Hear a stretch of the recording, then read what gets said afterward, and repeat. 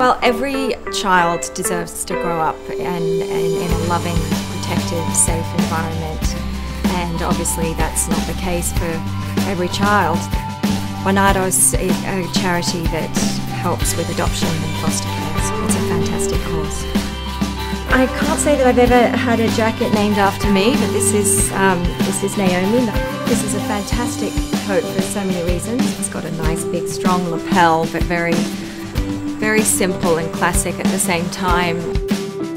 It's nice and soft, made out of the beautiful Australian wool, and um, very chic, very elegant and, and modern. And um, this particular coat, it's a limited edition, and 100% of the proceeds go to Barnardos, so that's a big deal.